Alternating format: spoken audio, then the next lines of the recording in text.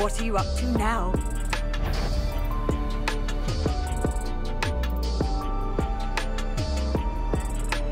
Alan Shearism. This looks like the spot from the treasure map.